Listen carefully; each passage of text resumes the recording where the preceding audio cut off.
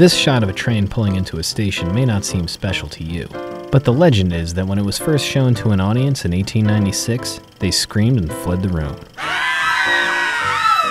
The truth is that the creation of the moving image challenged our perception of what reality was. Over a century later, our perception of reality is being challenged once more. Whoa. Yeah? Whoa. That's pretty nifty.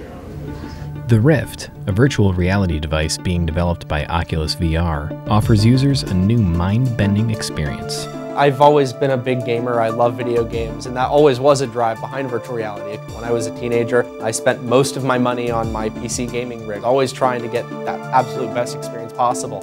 I was like, what is the ultimate gaming experience? The obvious answer was virtual reality.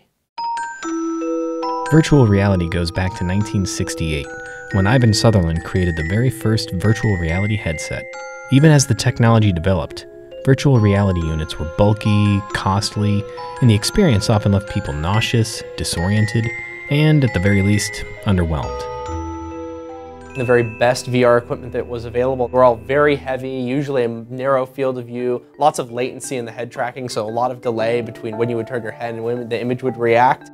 I really started to seriously tackle this problem, trying to figure out how I could make a better VR headset than what currently existed. Palmer spent several years building various prototypes in his pursuit of a device that could accurately create a feeling of being in another world. Eventually, he founded Oculus VR, and with a roster of engineers, they began to tackle the issues, starting with replicating what the human eye sees. We've made our displays go faster than most displays ever need to go because it needs to trick your brain into believing it's real rather than just being a window on a screen. You really, really need um, high frame rates and, and low persistence. Image clarity was just one issue that had to be tackled when developing the Rift. The real task was creating a system that synchronized the movement of the user's head with what they were seeing on the screen. So this is DK1, our first development kit that has a gyroscope, magnetometer, and accelerometer on board, running at about 1,000 hertz.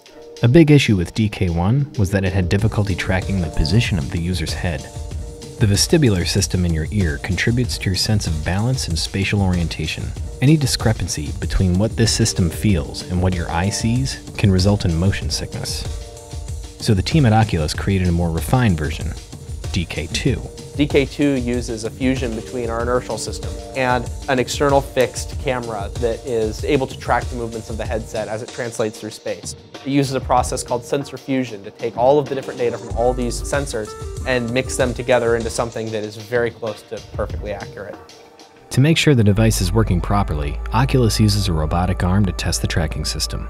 The robot arm allows us to move a headset through certain patterns. So we can compare the data from our tracking system and what we know the robot is doing from its own internal measurements. And we can compare the two to make sure that they're lining up.